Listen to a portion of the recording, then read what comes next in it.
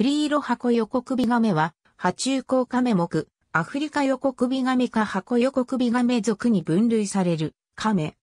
アンゴラ、ガーナ、カーボベルデ、ガボン、カメルーン、ギニア、ギニアビサウ、コンゴ共和国、コンゴ民主共和国、サントメプリンシペ、ザンビア、シエラレオネ、赤道ギニア、セネガル、中央アフリカ共和国西部、トーゴ、ナイジェリア、ブルキナファソ、ベナン、リベリアに自然分布。グアドループに移入。最大高長28.5センチメートル。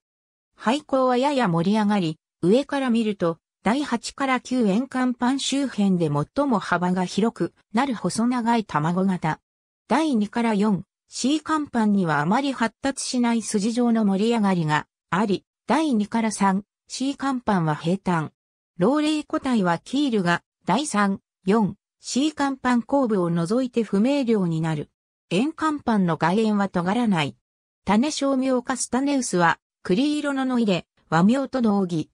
一方で廃校の色彩は、高褐色や褐色、灰褐色、暗褐色、黒などと個体変異が大きく、濃淡のある個体はいるが明瞭な反問は入らない。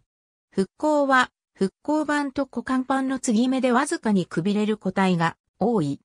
マノド甲板は細長くやや小型で、横幅は左右の復興板と股間板のシームの長さの0.25倍以下、縦幅は横幅の1.3から1.5倍。蝶つがいは第5円甲板の中央部周辺に接する。蝶つがいより前の復興は短く、左右の復興板のシームの長さの1.5倍未満。復興の色彩は単光色や高褐色で、シームや外縁は暗褐色や黒だが、全体が明色や暗色の個体もいるなど、個体変異が大きい。頭部はやや大型。粉炭はあまり突出せず、上顎の先端はわずかに凹みその両脇がわずかに突出する。下顎には小さい髭状突起が2本ある。頭部の色彩は単光色や灰褐色、褐色など。頭部には黒い斑点や細かい虫食い状の暗色斑が入る個体が多いが、頭部全体が暗褐色になる個体や暗色斑が不明瞭な個体もいるなど、個体変異が大きい。頸部や四肢、尾の色彩は黄色や灰色。卵は長径3.6から4センチメートル、単径が約2センチメートル。オスは左右の交換板の間の切れ込みが深く、開口部の角度が大きい。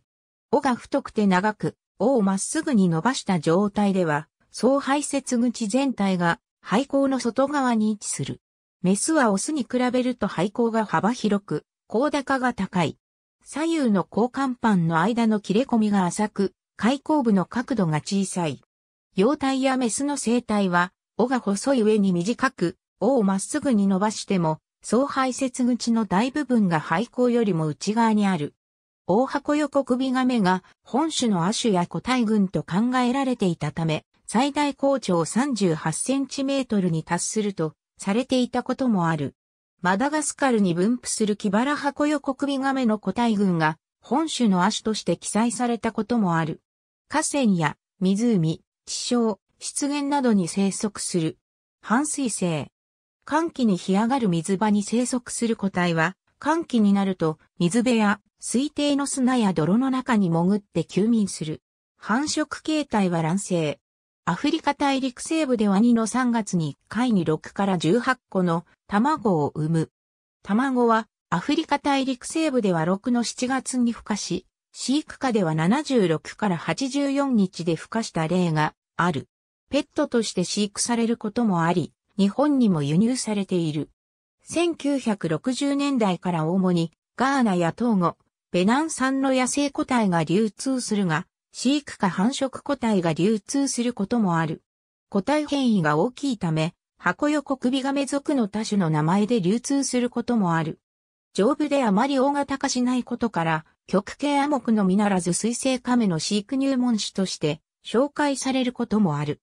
アクアリウムやアクアテラリウムで飼育される。水槽などの水を張れるケージを用意し、校長以上の推進を取り遊泳するスペースを確保する。代謝が高く、水が汚れやすいため、雑菌の温床となったりメンテナンスが困難になるなどの理由から、底砂は敷かない方が良い。レンガやブロック、流木、市販の製品などで広い陸上を設置し、日光浴を好むため陸上の一部に熱源を照射する。夏季に日光浴させることも可能だが、熱中症にならないように注意が必要である。